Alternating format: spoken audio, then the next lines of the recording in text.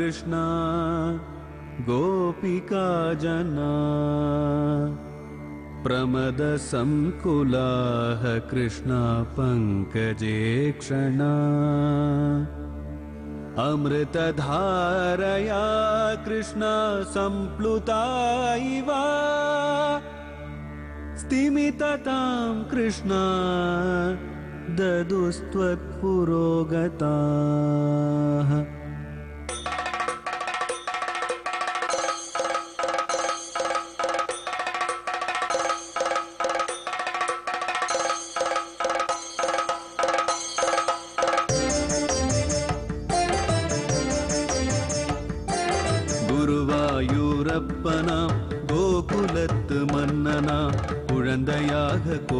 தரும் மாமாய வண்ணனாம் நாராயணீயமெனும் நல்விருந்தின் நாதனாம் நாமரசத்தேனினிமை கூட்டுகின்ற ஆயனாம். நாராயணா ஸ்ரீமன் நாராயணா நாராயணா ஸ்ரீமன் நாராயணா நாராயணா ஸ்ரீமன் நாராயணா நாராயண பட்டதிரி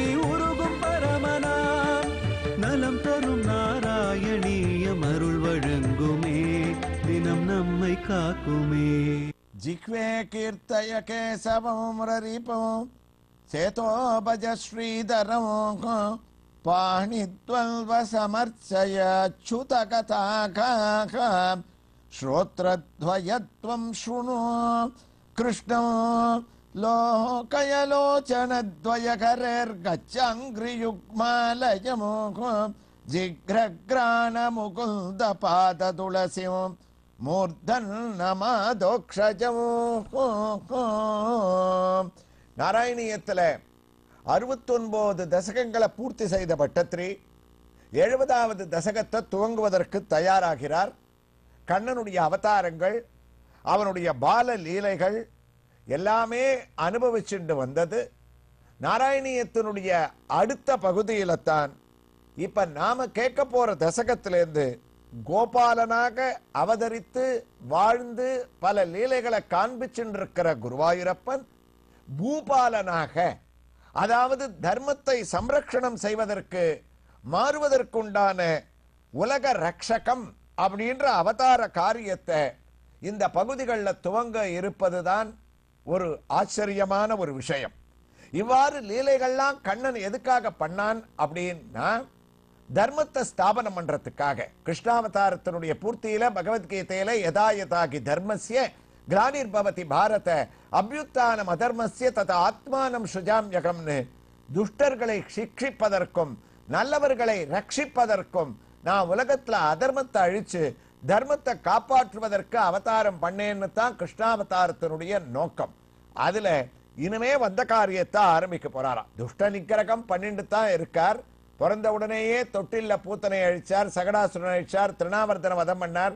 எல்லாம் லீலைகளோட கூட சேர்ந்து வந்தது. பகாசுரன் அகாசுரன் அப்படின்னு கொக்காகவும் மலையாகவும் வந்தவெல்லாம் அழிச்சுட்டு கூட துஷ்ட நிக்கிரகம் பண்ணிட்டு தான் இருக்கார். இருந்தாலும் அவதாரம் பண்ணதோட நோக்கம் கம்சவதம். அந்த கம்சனால் அனுப்பப்பட்ட ஆட்களைத்தான் அழிச்சுட்டு இருக்கார் கம்சவதம் நடக்கணுமே அதுக்குண்டான பிரேரணைகளை எல்லாம் ஆரம்பிக்கக்கூடிய ஒரு பகுதியாக லீலைகளோட தொடர்ந்து அமையிறது எழுபதாவது தசகத்தினுடைய முதல் ஸ்லோகத்தை பட்டத்திரை துவங்குகிறார். குருவாயிரப்பா இதி துவயி ரசாகுலம் ரமித வல்லபே வல்லபாகா கதாபி புரமம்பிகா கமிதுரம்பிகா கானனே சமேத்ய பவதா சமம் நிசி நிசேவ்ய திவ்யோத்சவம் சுகம் சுசுபுரக்ரசீத் பிரஜபமுக்ரநாகஸ்ததாக. பிருந்தாவனத்தில் ஆனந்தமா குருவாயிரப்பா நீ இருந்த அந்த சந்தர்ப்பத்தில் நந்தகோபன் முதலை வாழலாம் நந்தகோகுலத்தில் ஒரு தீர்மானம் பண்ணா பிருந்தாவனத்துக்கு பக்கத்தில் அம்பிகாவனம்னு ஒன்று இருக்கா? அந்த அம்பிகாவனம்ன்றது ஒரு க்ஷேத்திரம். பரமேஸ்வரனுடைய கோயிலும் அங்கே இருக்கு.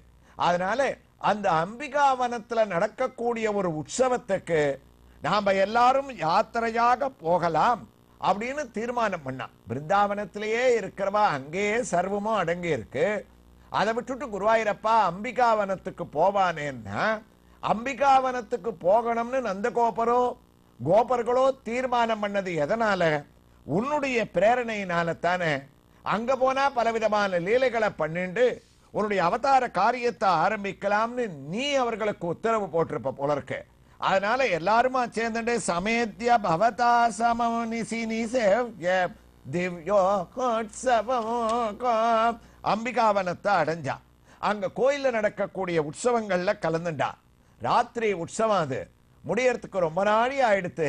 அதனால அங்கேயே அவர்கள்லாம் ஆகாரத்தை பண்ணிண்டு அம்பிகாவனத்திலேயே நந்தகோபர் யசோதை கண்ணன் பலராமன் வந்திருக்கக்கூடிய கோப கோபிகைகள் எல்லாரும் படுத்துண்டு அங்கேயே தூங்க ஆரம்பிச்சாளாம்.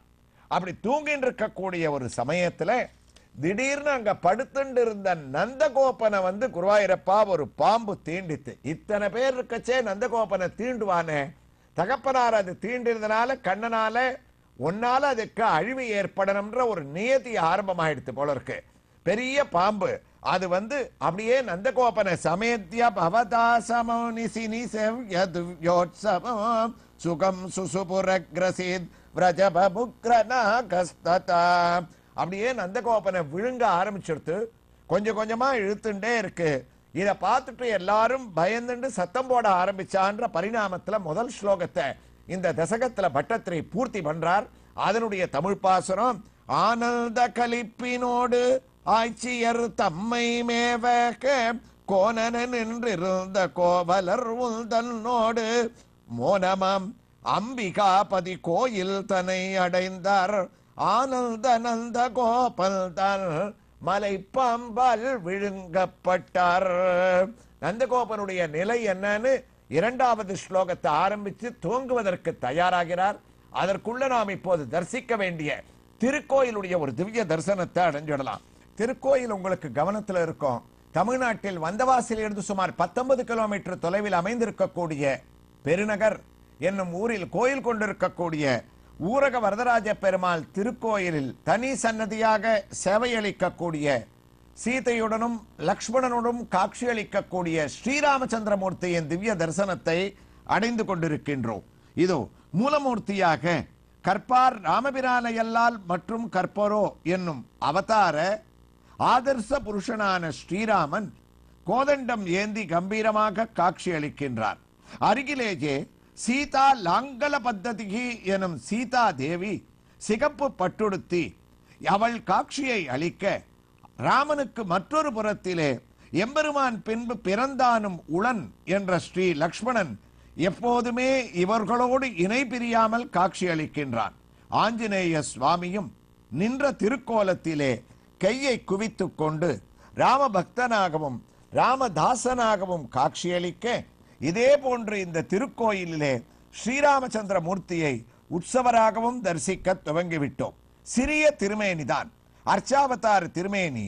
ஆனால் பெரிய கீர்த்தியோடு உயர்ந்த கிரீடத்தையும் பூமாலையையும் தான் சார்த்திக் கொண்டு ராமனுக்கே உண்டான மந்தஸ்மிதமான புன்னகையானது தவழ பல அடுக்கு கல்பதித்த பதக்கங்களை தன்னுடைய திருமேனியிலே தான் சார்த்தி கொண்டு தாமரை பீடத்தின் மேலே நாம் சரணமடைய வேண்டிய ராமனுடைய இரண்டு திருவடியினுடைய திர்- தரிசனத்தையும் அடைகின்றோம்.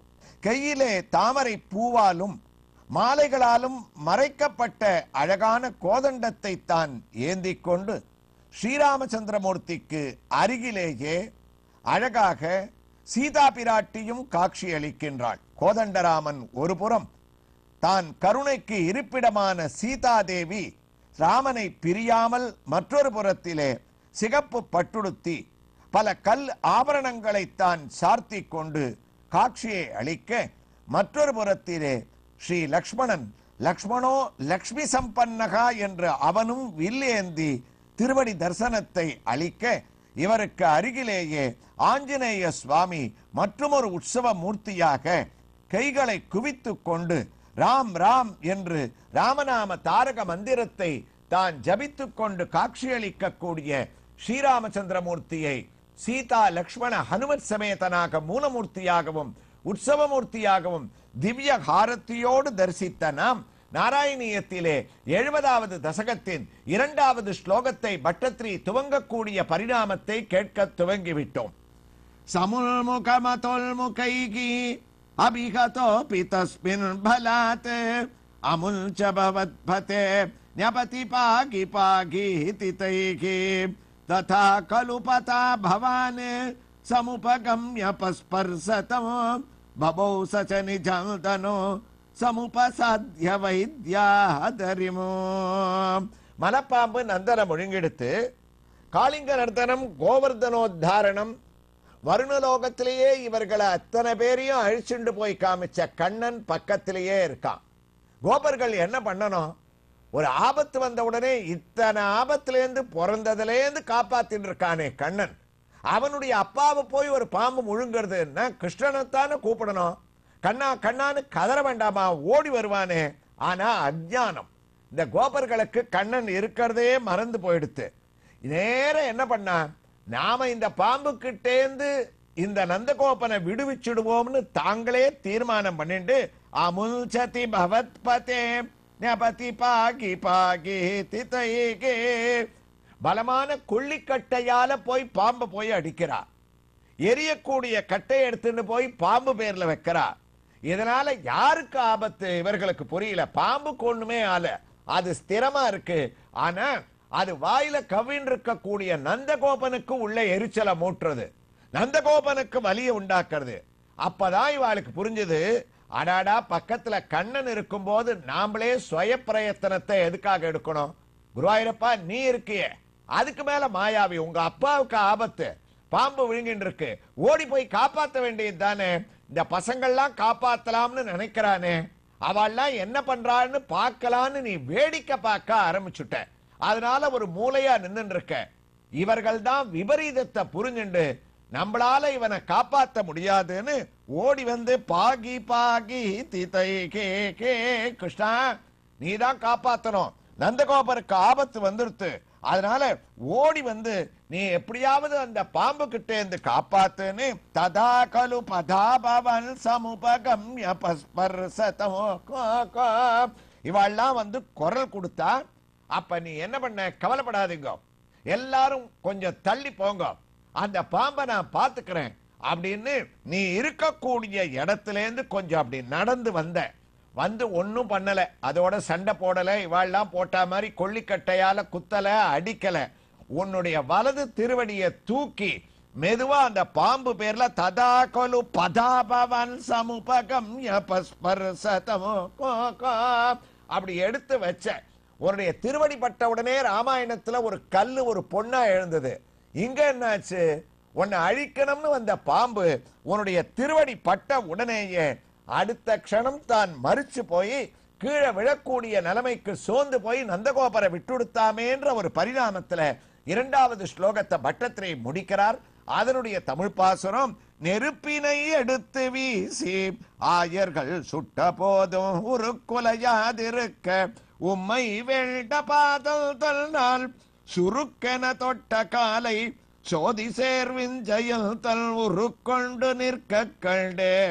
உவகையில் திளைத்தேரன்றோ அப்படின்னு முடிச்ச பட்டத்ரி அடுத்த பரிணாமமாக மூன்றாவது ஸ்லோகத்தை எவ்வாறு துவங்குகின்றார் என்ற ஒரு வைபவங்களை எல்லாம் இப்போது நாம் பெருநகரில் தரிசித்துக் கொண்டிருக்கக்கூடிய ஊரக வரதராஜ பெருமாள் கோயிலில் தனி சன்னதியாக கோயில் கொண்டிருக்கக்கூடிய சுதர்சனமூர்த்தியின் திவ்ய தரிசனத்தோடு தொடர்ந்து கேட்கலாம். ஸ்ரீ கிருஷ்ணாய துப்யம் நமகா. நாராயணா ஸ்ரீமன் நாராயணா.